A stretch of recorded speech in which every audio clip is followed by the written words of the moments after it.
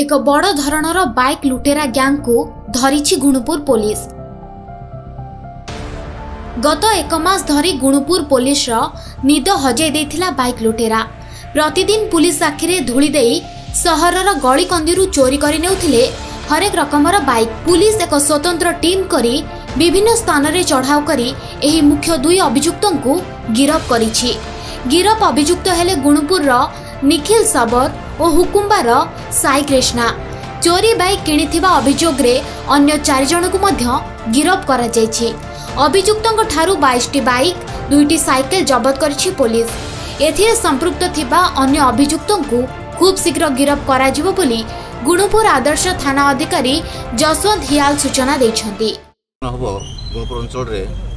ଚୋର ବାଇକ୍ର କିଛି ରିପୋର୍ଟ ଥିଲା ଏବଂ সেই রিপোর্ট নেই আমি বিভিন্ন অঞ্চলে চড়াও করলু এবং বিভিন্ন সন্দিগ্ধ অপরাধীকে মধ্যে আমি ধরিলু কাবু করলু এবং সে পচাউচা করে সে পাখু বাইশ গোটি মোটরসাইকেল এবং তিনোটি দামিকা সাইকেল আমি রিকভর করছু জবত করছু যে বাইক রকিলে সে আরেস্ট করছু এই প্রকার ছজন